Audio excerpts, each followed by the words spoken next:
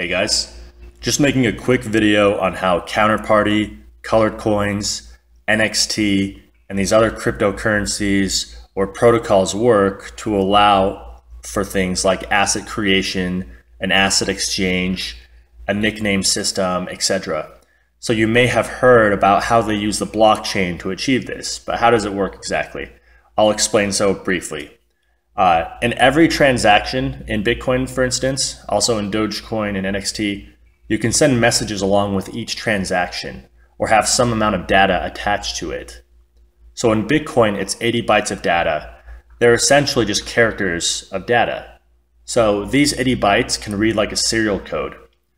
Uh, when Counterparty started, I believe they were using Counterparty spelled out or some something like that at the beginning of each transaction to a denominate that it was counterparty. And then you could have a command tied in there. So you could write counterparty, create blank, and it would create an asset that way.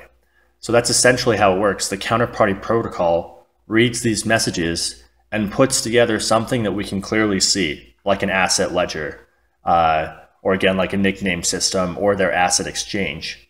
And just to kind of build upon how the asset exchange works at its core, uh, it can be done simply by reading the ledger. So if someone wants to do a trade, they can broadcast that they, you know, by using those commands, they want to offer something at a certain price. And if someone else offers that they want to match that, it, the the trades would match, and the protocol would read that the asset has traded hands.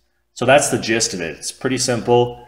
Uh, I can make a more detailed video later on, but I just want to get this out there.